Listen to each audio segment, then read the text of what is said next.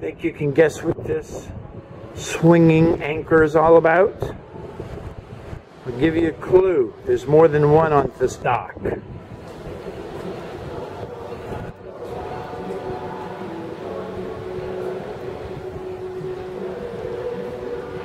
Of course, this one's not swinging. The wind is not as strong there.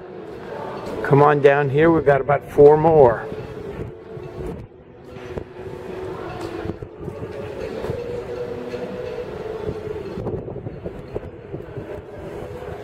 If you think you know what these anchors are for, and no, they're not giant tree ornaments.